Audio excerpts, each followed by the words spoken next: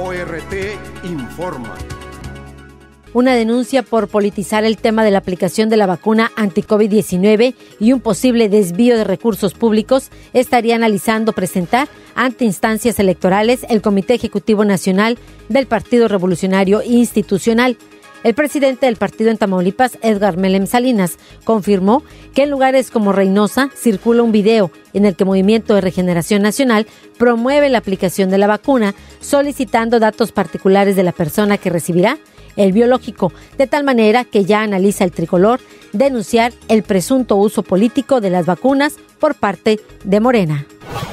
La estrategia del Partido Acción Nacional de sumar cuadros del revolucionario institucional para alcanzar la mayoría en la Cámara de Diputados no dejará los resultados deseados. Así lo aseguró Alejandro Ceniceros Martínez. El comisionado del Partido del Trabajo en Tamaulipas dijo que aun cuando es válida esa estrategia, el Partido Acción Nacional evidencia estar desesperado al grado de tener que recurrir a cuadros de otros partidos políticos para derrotar a oponentes como Movimiento de Regeneración Nacional. Más que preocuparle a la coalición Morena PT, consideró que esta alianza sigue adelante con el proceso de selección de candidatos para alcalde, diputado local y legisladores en base al convenio suscrito entre los dos partidos políticos.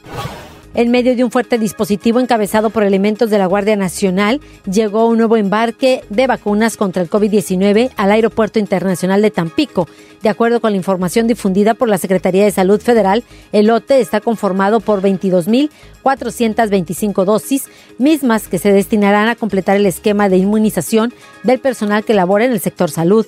Al respecto, la Secretaría de Salud en Tamaulipas señaló que 4.690 de estas dosis se aplicarán en Ciudad Victoria, 7.230 en Reynosa, 8.615 en Tampico y 1.890 en Nuevo Laredo. Cabe mencionar que las vacunas llegan provenientes de Bélgica. Además, a la par, inicia el proceso de vacunación ante COVID-19 para los adultos mayores en el sur de Tamaulipas. ORT te informó.